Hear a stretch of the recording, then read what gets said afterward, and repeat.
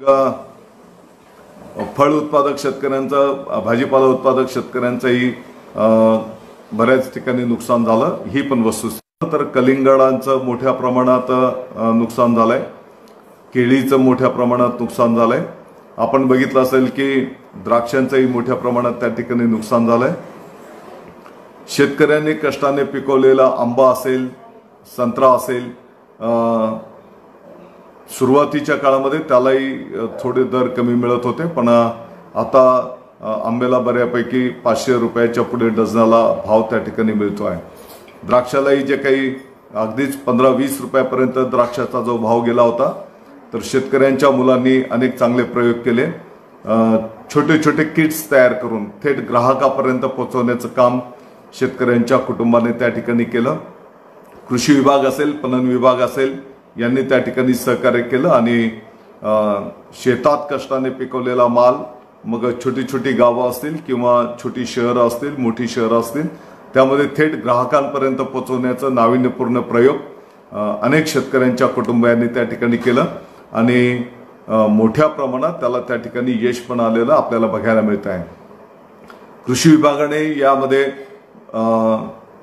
विभागाच्या सचिवांच्या पासून तर अगदी गाव पातळीवरच्या कृषी सेवकाच्या पर्यंत या संदर्भामध्ये लक्ष घातलं. आणि आपण बघतो आहोत की साधारणतः दिवसाला दोन हजार टनाच्यापेक्षा जास्तीचा कृषी माल आपण ग्राहकांपर्यंत ग्राहकाच्या घरापर्यंत पोहोचवण्याचं त्या ठिकाणी यशस्वी झालेलं. आणि म्हणून या सर्व गोष्टींचा मध्ये मार्गक्रमण करीत असताना आपल्याला माहिती आहे की आता खरीप हंगामाचंही नियोजन आपल्याला सर्वांना त्या ठिकाणी करायला आपण घेतलेलं आहे. खऱ्या अर्थाने माननीय मुख्यमंत्री महोदय उद्धवजी ठाकरे साहेबांनी त्यांच्या अतिशय जिव्हाळ्याचा विषय असलेला हा कृषी विभाग शेतकरी बांधव माझ्यासारख्या एका सामान्य कार्यकर्त्यावर शेतकऱ्याच्या मुलावर ही जबाबदारी दिलेली असताना आपल्या शेतकरी बांधवांच्यासाठी जेवढं जेवढं करता येणं शक्य आहे आमचा विभाग त्या ठिकाणी प्रयत्नशील आहे. उद्धवजी ठाकरे साहेबांची संकल्पना आहे की शेतकरी बांधव चिंतामुक्त झाला पाहिजे. शेतकऱ्यांच्या कुटुंबामध्ये त्या ठिकाणी आनंदाचं वातावरण असलं पाहिजे. आणि म्हणून मला खात्री आहे की तुमच्या सर्वांच्या कष्टावर आपण सर्वजण मिळून त्यांचे जे विचार आहेत ते निश्चितपणे येणाऱ्या कालावधीमध्ये आपण निश्चितपणे यशस्वी करूया. आता बोलत असताना संजोग चरंजन. यांचं यांचं म्हणणं आहे की काही कर्जमाफी झाली नाही जिल्हा अमरावती. संजोगजी मी आपल्याला नम्रतेने सांगतो की पहिल्या टप्प्यामध्ये आपण बघितलं असेल की डिसेंबर महिन्याच्या अधिवेशनामध्ये माननीय मुख्यमंत्री महोदय उद्धवजी ठाकरे साहेबांनी दोन लाखपर्यंतचं थकीत पीक कर्ज दोन हजार पंधरा ते दोन हजार एकोणावीस या कालावधीतलं कर्ज माफ करण्याचा निर्णय झाला. आणि साधारणतः तीस लाख शेतकऱ्यांची ती संख्या आहे. आणि आतापर्यंत माझ्या माहितीनुसार एकवीस लाख शेतकरी बांधवांना साधारणतः बारा हजार कोटी रुपयांचं थकीत पीक कर्ज त्यांच्या उर्वरित जे त्यांच्यासाठी मला वाटतं की लॉकडाऊन उठला की ही परिस्थिती निवडली की त्यांचे खात्यावर ते वर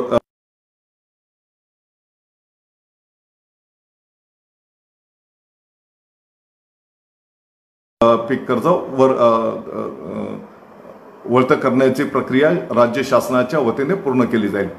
आणि हे करीत असताना बँकांना सरकारने कळवलेलं आहे की या निकषांमध्ये जे शेतकरी पात्र आहेत तर त्यांना तुम्ही येणाऱ्या खरीप हंगामाच्या पार्श्वभूमीवर पीक कर्ज देण्याची प्रक्रिया तुम्ही राबवा. राज्य शासनाने त्याची हमी घेतलेली आहे. आता मागच्या महिन्यामध्ये जे काही अधिवेशन संपन्न झालं मार्च महिन्याच्या कालावधीमध्ये त्या अधिवेशनामध्ये दोन लाखाच्या वरील थकीत पीक कर्ज आणि रेग्युलर कर्ज फेड करणाऱ्या शेतकऱ्यांच्यासाठी पन्नास हजार रुपयाचं घोषणा केलेली आहे. मला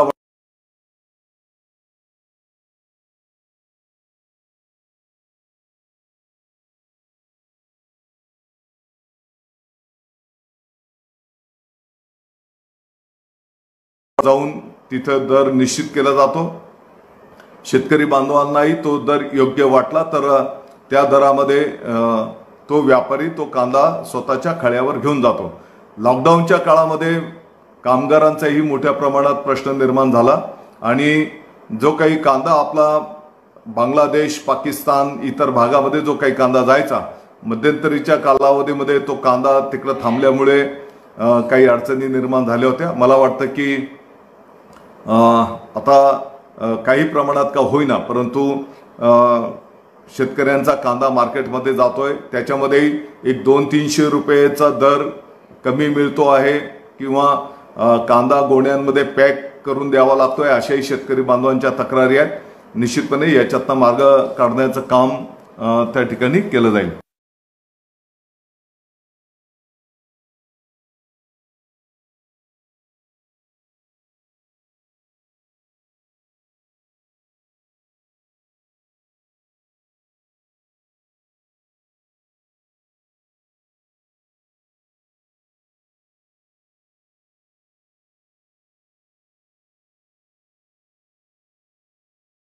या खरीप हंगामाच्या पार्श्वभूमीवर कृषी विभागाच्या साधारणतः एकशे चाळीस लाख हेक्टर क्षेत्रावर आपल्याला सोळा लाख क्विंटल जे काही बियाणं आपल्याला लागणार आहे तर त्याच्या अगेन्स्ट सतरा लाख क्विंटल बियाण्याची उपलब्धता त्याचं नियोजन आपण केलेलं आहे.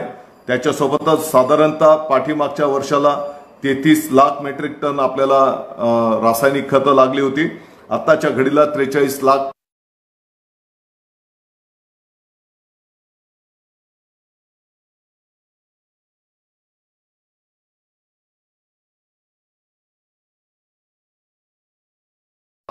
मेट्रिक टनाची आपण मागणी केलेली असताना चाळीस लाख मेट्रिक टन आपल्याला खतांचं केंद्र शासनाने मान्यता दिलेली आणि आत्ताच आपल्याकडे पन्नास टक्के साठा उपलब्ध आहे. आणि म्हणून कोणालाही बियाण्यांची कमतरता पडणार नाही कोणाला खतांची कमतरता पडणार नाही. हे एक मी आपल्याला ग्वाही देऊ इच्छितो. ज्या शेतकरी बांधवांना आपल्याला त्यांना अपेक्षित असलेलं बियाणं असेल त्यांना अपेक्षित असलेली खतं असतील जर त्यांना उपलब्ध होत नसेल तर आपल्या स्थानिक पातळीवरच्या कृषी विभागाच्या कर्मचारी अधिकाऱ्यांशी आपण संपर्क करा. तुमच्या शेताच्या बांधावर ते बियाणं आणि ती खतं उपलब्ध करून देण्याचं काम कृषी विभागाच्या माध्यमातून त्या ठिकाणी करून दिलं जाणार आहे. सिद्धेश्वर शिरलजींचं म्हणणं आहे की पीक कर्ज खरीपासाठी कधीपासून वाटप होईल? मला वाटतं की मे महिन्यापासूनच खरीप हंगामाच्या साठी पीक कर्जाचं वाटप करावं. अशा प्रकारचे बँकेंना माननीय मुख्यमंत्री महोदय माननीय उपमुख्यमंत्री महोदयांनी सूचना केलेल्या आहेत. सहकार मंत्री महोदयांनी त्या पद्धतीने सूचना त्या ठिकाणी केलेल्या आहेत. मक्याचे बाजार खूप उतरलेले आहेत असं गणेश निकम बोलतायत. ही वस्तुस्थिती आहे की आपण बघितलं असेल की करोनाचा सर्वात आधी जर फटका कोणाला बसला असेल तर तो सुरुवातीच्या काळामध्ये पोल्ट्री व्यवसायाला मोठ्या प्रमाणात फटका बसला. आणि आपल्याला सर्वांना ठाऊक आहे की पोल्ट्री व्यवसायामध्ये पोल्ट्रीचं जे फीड आहे त्याच्यामध्ये मका मोठ्या प्रमाणात त्या ठिकाणी वापरला जातो. पूर्वीच्या काळामध्ये सतराशे अठराशे रुपयाच्या दराने आपला मका जायचा आणि तो आता एक साधारणतः बारा तेराशे रुपयापर्यंत येऊन पोचला आहे. ही वस्तुस्थिती आहे. आणि म्हणून निश्चितपणे याही संदर्भामध्ये आपण कसं मक्याला चालना देता येईल त्या दृष्टिकोनातही नियोजन करायला घेतलेलं आहे. माधव आसोले साहेबांचं म्हणणं आहे की कापूस पीक विमा कधी मिळणार? हिंगोलीहून त्यांचा प्रश्न आहे. माधवजी आता जे काही पीक काढणी प्रयोग असतात लॉकडाऊनमुळे ते काही प्रमाणात थांबलेले होते. आम्ही स्वतः पीक कंपन्यांशी संवाद साधतो आहोत. मला अपेक्षित आहे की ह्या आठवड्यामध्ये मे महिन्याच्या पहिल्या आठवड्यामध्ये आणि पुढच्या आठवड्याच्या पासून कापूस असेल हे जे काही दोन तीन पिकांचे आपल्याला पीक विमा राहिलेला आहे तर ते पीक विम्याचं वाटप त्या ठिकाणी निश्चितपणे केलं जाईल. नितीनजी पाटील साहेबांचं म्हणणं आहे की खतांचे आणि बियाण्याचे काळाबाजार होणार नाही याची काळजी घ्या. नितीनजी मी आपल्याला आश्वस्त करू इच्छितो की महाराष्ट्राच्या आत्ताच मी जे काही सांगितलं की एकशे चाळीस लाख हेक्टरच्यासाठी लागणारं बियाणं लागणारी खतं याचं पूर्ण नियोजन कृषी विभागाच्या माध्यमातून करण्यात आलेलं आहे.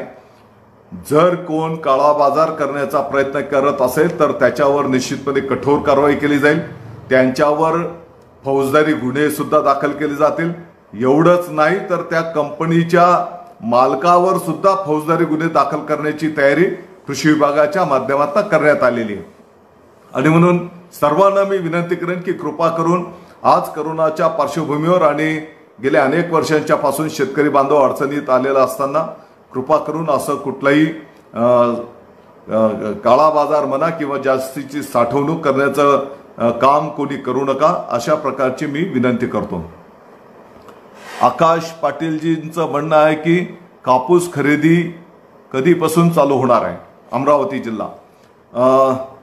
कापूसची जी काही एकाधिकार खरेदी आहे यापूर्वीचा मला वाटतं की चालू होती परंतु लॉकडाऊनच्या काळामध्ये जी बंद झालेली होती आत्ता मागच्या चार दिवसाच्या पासून कापूस खरेदी सुरू झालेली आहे परंतु त्याची केंद्र वाढवा आणि जो काही फरदडचा किंवा थोडासा कमी दर्जाचा जो कापूस आहे त्याची खरेदी वाजवी दराने करा अशा प्रकारची विनंती सहकार पणन मंत्री महोदयांना आम्ही केलेली आहे. मुख्यमंत्री महोदयांच्याही कानावर ही गोष्ट त्या ठिकाणी घातलेली आहे. मंदार शिंदे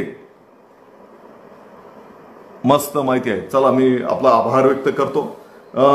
आणि म्हणून या ठिकाणी मार्गक्रमण करत असताना आज मी या ठिकाणी या विभागाचा एक तुमचा प्रतिनिधी म्हणून बोलत असताना माझी शेतकरी बांधवांच्या तरुणांच्या साठी माझी विनंती असणार आहे की ज्या पद्धतीने आपण हा अतिशय कष्टपर्व प्रवास करतो आणि कष्टाने पिकवलेला माल बऱ्याच ठिकाणी आपल्याला बघायला मिळतं की शेतकऱ्यांनाही दोन पैसे कमी मिळतात आणि ग्राहकाला दोन पैसे जास्तीच्या दराने तो माल त्या ठिकाणी उपलब्ध होत असतो. आणि म्हणून गट शेतीच्या माध्यमातून असेल किंवा फार्मर प्रोड्युसर कंपन्यांच्या माध्यमातून असेल आपण कृषी विभागाने अनेक प्रयोग केले आणि शेतकऱ्यांच्या कष्टाने पिकवलेला माल थेट ग्राहकापर्यंत पोहोचवण्याचं काम किंवा शेतकऱ्यांच्या कुटुंबांना तसा प्लॅटफॉर्म उपलब्ध करून देण्याचं काम कृषी विभागाच्या माध्यमातून करण्यात आलेलं आहे. मी सर्वांना विनंती आवाहन करेन की करोना तर वाईट गोष्ट आहे. त्याचा मुकाबला आपण सर्वजण करतो आहोत. परंतु त्याच्यातनं जी एक गोष्ट आम्हाला शिकायला मिळाली की कष्टाने पिकवलेला माल शेतकऱ्यांची मुलं आता थेट ग्राहकापर्यंत पोहोचवत आहेत. मला वाटतं की येणाऱ्या कालावधीमध्ये आम्ही निश्चय निश्चय केलेला आहे. उत्पादनात वाढ करत असताना ही जी काही कष्टाने पिकवलेला माल ग्राहकापर्यंत पोहोचवणं याला सुद्धा येणाऱ्या कालावधीमध्ये जास्ती फोकस करून आम्ही तो प्लॅटफॉर्म उपलब्ध करून देणार आहोत की जेणेकरून शेतकऱ्यांना दोन पैसे जास्तीचा दर त्या ठिकाणी मिळाला पाहिजे.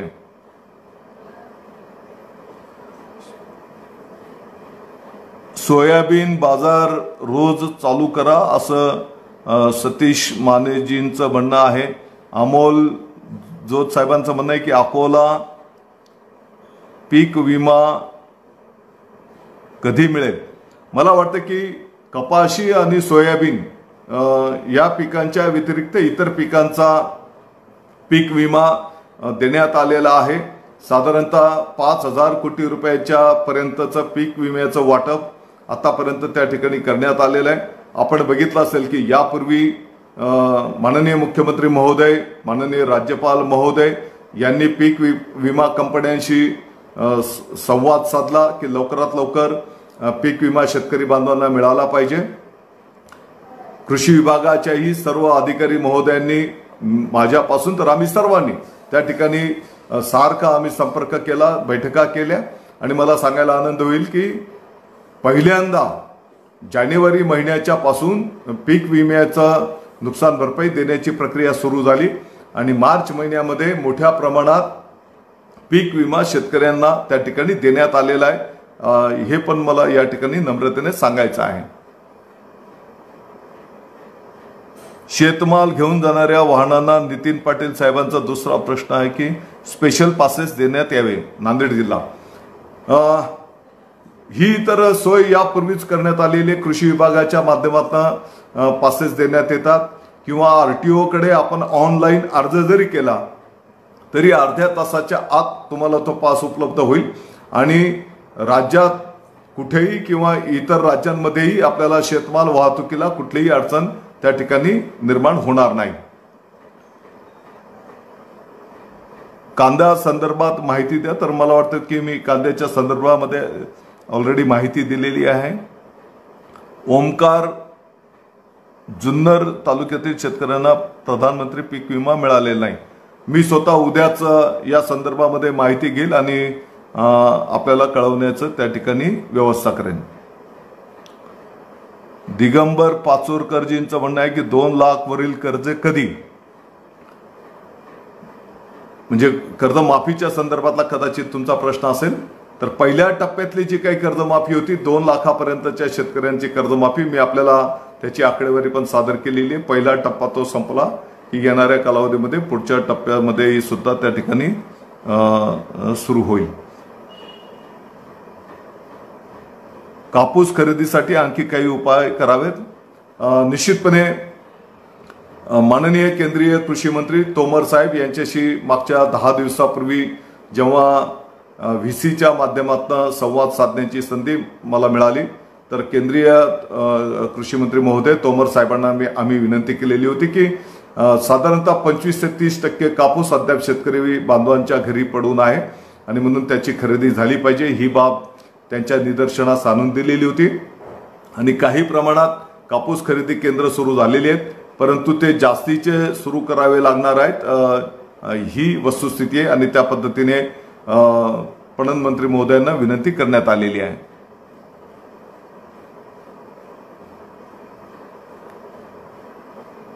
पांडुरंग पाटील साहेबांचं म्हणणं आहे की कापूस विकायचा राहिले परभणी जिल्हा. मला वाटतं मी तीच माहिती आपल्याला उपलब्ध करून दिलेली आणि म्हणून आपण बघितलं असेल की मध्यंतरीच्या कालावधीमध्ये केळी पिकाचं केळी फळांचंही मोठ्या प्रमाणात त्या ठिकाणी शेतकरी बांधवांना कमी दर उपलब्ध झाले. कलिंगड असेल टरबूज असेल काही शेतकरी बांधवांचे तर त्यांचं शेतातच त्या ठिकाणी नुकसान झालं ही वस्तुस्थिती आहे. आणि म्हणून अशा या सर्व पार्श्वभूमीवर आपल्याला करोनाशी युद्ध करीत असताना त्याच्यातनं मार्गक्रमण करायचं आहे आणि येणाऱ्या खरीप हंगामाचं खऱ्या अर्थाने मला तर प्रत्येक जिल्ह्यामध्ये जाऊन शेतकरी बांधवांशी संवाद साधायचा होता. स्थानिक पातळीवरच्या लोकप्रतिनिधी आणि कृषी विभागाच्या अधिकाऱ्यांना विश्वासात घेऊन प्रत्येक जिल्ह्याचं नियोजन आपल्याला त्या ठिकाणी करायचं होतं. परंतु करोनाच्या लॉकडाऊनच्या पार्श्वभूमीवर आपल्याला ते करता आलं नाही. आणि म्हणून प्रत्येक जिल्ह्याच्या पालकमंत्री महोदयांना आम्ही विनंती केलेली की आपल्या जिल्ह्याचं खरीप हंगामाचं शेतकरी बांधव असतील किंवा त्यांच्याशी संवाद साधून आपण नियोजन करावं आणि त्या पद्धतीने बऱ्यापैकी नियोजन आता पूर्ण झालेलं आहे. कृषीविषयक सर्व गोष्टी जी एस टीमधनं वगळाव्या अशा प्रकारची सूचना आहे.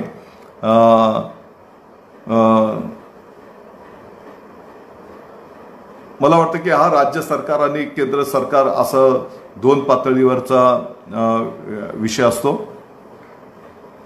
पांडुरंग पाटील साहेबांचं म्हणणं आहे की दूध योजनेचे पैसे मिळालेले नाहीत. एक महिना झाला. आपण जर याचं सविस्तर माहिती दिली तर निश्चितपणे मी स्वतः त्याचं तपास करेन. आपण बघितलं असेल की लॉकडाऊनचा जरी कालावधी असेल तरी पण प्रत्येक शेतकऱ्याने केलेला फोन असेल. माझ्यापासून आमचे राज्यमंत्री महोदय विभागाचा प्रत्येक अधिकारी शेतकरी बांधवांचं फोन अटेंड करतो आहे. तो प्रश्न सोडवण्याच्या दृष्टिकोनातून स्थानिक पातळीवर प्रयत्न करतो आहे. कुठे जर एखाद्या तसा विषय नाही परंतु एक वीस पंचवीस दिवसापूर्वी थोडं सुरुवातीला दोन दिवस कुठेतरी शेतकऱ्यांच्या वा- वाहनाला जर कुठे अडवलं गेलं शेतीमालाला जर अडवलं गेलं तर त्या ठिकाणी आम्ही विनंती करून ते सर्व सुरळीत करण्याचं काम त्या ठिकाणी केलेलं आहे. सुरेश मैपालजींचं म्हणणं आहे की ठिबक विषयी माहिती दिली नाही. ठिबकच्या संदर्भामध्ये ज्या पद्धतीने आपण केंद्र शासनाने अनेक गोष्टींना जे वगळलं होतं एक्झाम्शन दिलं होतं तर ठिबक आणि मल्चिंग पेपरच्या संदर्भामध्ये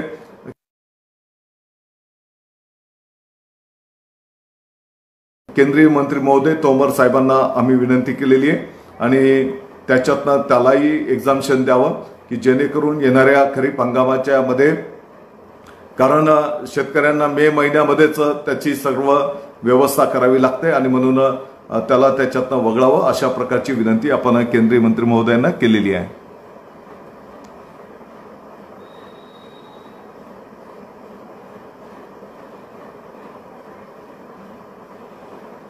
कांद्याचे बाजारभाव कमी झालेत याही संदर्भामध्ये केंद्रीय मंत्री महोदयांना नाफेडच्या माध्यमातून कांदा खरेदी करावं अशा प्रकारची विनंती आम्ही त्या ठिकाणी केलेली आहे. कापूस व पीक तूरचा पीक विमा कधी मिळणार आहे?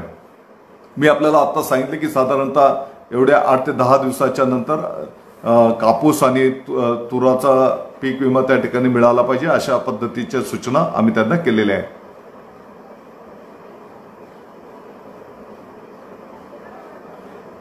पन्नास हजाराचं जे काही रेग्युलर कर्जफेड करणारे शेतकरी मी आपल्याला आत्ताच माहिती दिली की पहिल्या टप्प्यामध्ये दोन लाखापर्यंतचं पीक कर्ज त्याचा पूर्तता झाली की पुढच्या टप्प्यामध्ये दोन लाखाच्या पुढचे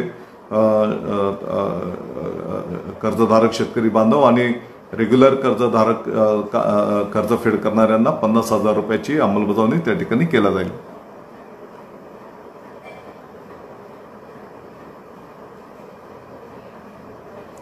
ज्यांची शेती दुसऱ्या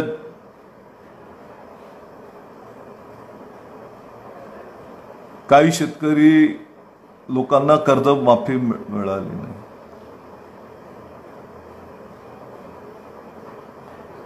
कापूस पीक विमा कधी मिळेल? मला वाटतं की बबलू आवटेजी मी आता ही माहिती आपल्यासमोर सविस्तरपणे त्या ठिकाणी दिलेली आहे. आणि म्हणून येणाऱ्या खरीप हंगामाच्या पार्श्वभूमीवर आपण या ठिकाणी बोलत असताना मी आपल्याला सगळ्यांना कळकळीची विनंती करतो की हवामानाचाही अंदाज या ठिकाणी चांगला आहे. पोखरा योजना पोखरा योजनेच्या संदर्भामध्ये आजच आम्ही मी स्वतः पालघरचा पालकमंत्री या नात्याने तिथं ध्वजारोहणाच्यासाठी गेलो होतो. पोखराच्या जे आमचे प्रमुख आहेत त्यांच्यापासून तर अनेक फार्मर प्रोड्युसर कंपन्या असतील अनेक शेतकरी बांधवांशी आम्ही लाईव्ह संवाद आज त्या ठिकाणी संपन्न केलेला आहे. अनेक शेतकरी बांधवांचे प्रश्न उपस्थित झाले होते त्यांचे पण उत्तर आम्ही त्या ठिकाणी दिलेले आहे. आणि म्हणून पंधरा जिल्ह्यांच्यासाठी आणि पाच हजारपेक्षा जास्ती गावांच्यासाठी नानाजी देशमुख ही जी काही पोकरा नावाची योजना आहे त्या योजनेच्या माध्यमातून जे काही पात्र लाभार्थी आहेत ज्यांना यापूर्वीच मान्यता मिळालेली आहे किंवा त्यांनी त्याची अंमलबजावणी केली आहे काही लोकांचं त्याचे जे काही पेमेंट्स राहिले होते तर तेही येणाऱ्या दिवसांमध्ये देण्याचं निश्चित केलेलं आहे. आणि म्हणून प्रो पोखरा योजनेची प्रभावी अंमलबजावणी झाली पाहिजे. या दृष्टिकोनातही आम्ही त्या ठिकाणी काळजी घेणार आहोत. पोखरा योजनेच्या धर्तीवर आपण बघितलं असेल की आपण शेतकरी आता उत्पादकता वाढवण्यामध्ये त्यांनी स्वतः कष्ट केले. कृषी विभागाने मार्गदर्शन केलं रक्षण केलं आणि मोठ्या प्रमाणात शेतकरी बांधव यशस्वी झालेले आहेत. अर्थात देश पातळीवर आणि जगाच्या पाठीवर आणखी आपल्याला जाण्याची आवश्यकता आहे. परंतु हे करीत असताना त्याच्यासोबतच मला वाटतं की क्वालिटी दर्जेदार मालाची निर्मिती करणे त्याच्यासोबतच माल मार्केटमध्ये नेत असताना स्वच्छ करणं त्याचं ग्रेडिंग करणं त्याच्यासोबतच त्याच्यासाठी गोडाऊनची निर्मिती करणं त्याच्यासोबतच कोल्ड स्टोरेजची निर्मिती करणं शेतीमालावर प्रक्रिया करणारे उद्योग उभे करणं त्याचं ट्रान्सपोर्टेशनची व्यवस्था करणं या सर्व गोष्टींच्यासाठी माननीय बाळासाहेब ठाकरे साहेबांच्या नावाने आपण स्मार्ट नावाची योजना आणलेली आहे. आणि म्हणून गट शेतीचे जे शेतकरी बांधव असतील किंवा फार्मर प्रोड्युसर कंपन्या यांना या योजनेच्या माध्यमातून त्या ठिकाणी बळ देण्याचं काम या योजनेच्या माध्यमातून केलं जाणार आहे. आणि म्हणून शेतकरी बांधवांना मी विनंती करेन की येणाऱ्या दिवसांमध्ये गट शेतीच्या माध्यमातून आपण एकत्रितपणे या. फार्मर प्रोड्युसर कंपन्यांच्याही माध्यमातून आपण पुढे या. अनेक फार्मर प्रोड्युसर कंपन्यांनी अतिशय चांगलं काम त्या ठिकाणी उभं केलेलं आहे. आणि म्हणून येणाऱ्या दिवसांमध्ये यांना ताकद देण्याचं काम कृषी विभागाच्या माध्यमातून या योजनेच्या माध्यमातून केलं जाणार आहे. शेतकऱ्यांना लोकांबरोबर संवाद ठेवा असं ओंकार मोराडे यांनी सांगितलेले तुमची ही अतिशय रास्त सूचना आहे आणि म्हणून आपण बघितलं असेल की तेवीस जानेवारी हा शिवसेना प्रमुख माननीय बाळासाहेब ठाकरे साहेबांचा जन्मदिनांक आहे. आणि म्हणून आपण बघितलं असेल की महाराष्ट्राच्या प्रत्येक तालुका पातळीवरच्या पासून तर जिल्हा पातळीवरच्या कृषी कार्यालयांमध्ये आपण एक संवाद कक्ष शेतकरी बांधवांच्यासाठी सुरू केलेला आहे की ज्या कक्षामध्ये त्या कार्यालयामध्ये शेतकरी बांधवांना जर काही अडीअडचणी असतील तर त्या ठिकाणी ते मांडण्याचा एक प्लॅटफॉर्म त्या ठिकाणी उपलब्ध करून दिला जाणार आहे. आणि तो टेबल सांभाळणाऱ्या अधिकाऱ्यांना आम्ही सूचना केली आहे की कदाचित आपल्या विभागाशी संबंधित प्रश्न असेल तर तो ताबडतोबीने सोडवावा किंवा कायदेशीरची काही नियमाप्रमाणे माहिती असेल तर शेतकरी बांधवांना उपलब्ध करून द्यावी. आपल्या विभागाच्या व्यतिरिक्त इतर विभागांचा जरी विषय असेल तरी त्याचं त्याचं नोटिंग करण्यात यावं ते लिहून घेण्यात यावं आणि त्या विभागाशी संवाद साधून आता उदाहरणार्थ एखाद्या शेतकरी बांधवाचा ट्रान्सफॉर्मर जळाला असेल तसा तो ऊर्जा विभागाचा जरी विषय असेल तरी त्याचं नोटिंग केलं जाईल. आणि ऊर्जा विभागाशी संपर्क साधून तो ट्रान्सफॉर्मर ताबडतोबीने दुरुस्त करून द्या अशा प्रकारची विनंती त्या ठिकाणी केली जाणार आहे. आणि म्हणून आमचा गाव पातळीवरचा कृषी अधिकारी असेल तर त्या सर्वांना आम्ही सूचित केलेलं आहे की आपण शेतकऱ्यांच्या बांधावर जा शेतकऱ्यांच्या शेतामध्ये जा शेतकऱ्यांशी संवाद साधा. येणाऱ्या कालावधीमध्ये आमच्या जे काही संशोधन संस्था पण ज्या ज्या आहेत त्यांना सुद्धा आम्ही शेतकऱ्यांशी संवाद साधायला सांगणार आहोत. याच्या पलीकडे आपण एक प्रयोग करायला घेतो आहोत की जेणेकरून आम्ही जर आमच्याशी बोलतो आहोत तर हे राजकारणी लोक आहेत हे तर नेहमीच भाषण देत असतात किंवा हे बोलत असतात असा समज गैरसमज असतो. आणि म्हणून शेतकऱ्याने अनेक नाविन्यपूर्ण प्रयोग करणारे पण शेतकरी आहेत की ज्यांना आम्ही शेतकरी बांधवांचं आयडॉल म्हणून आम्ही त्यांना संबोध संबोधतो. त्यांनी अनेक स्वतःच्या पायावर त्यांनी नवीन नवीन प्रयोग केलेले आहेत. आणि त्याच्यातनं खूप चांगली दिशा देण्याचं काम ते करतायत. आणि म्हणून अशा शेतकरी बांधवांचा कदाचित राज्य सरकार केंद्र सरकारने गौरव केलेला आहे. कदाचित काही गौरवापासून दूरही असेल. त्यांना त्यांच्याशी काही घेणं देणं पण नाही त्या गौरवाशी. तर अशा शेतकरी बांधवांना एकत्रित करून आम्ही त्या ठिकाणी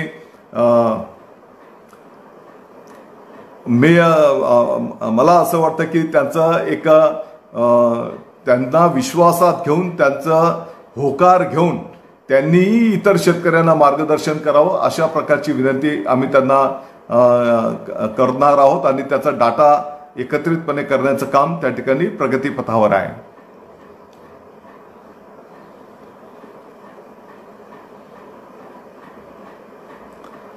अकोला